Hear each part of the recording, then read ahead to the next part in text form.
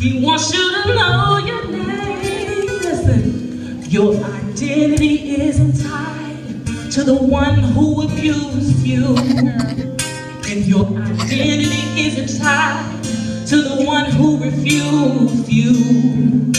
You've got an identity, don't get it confused with what they do. You are created.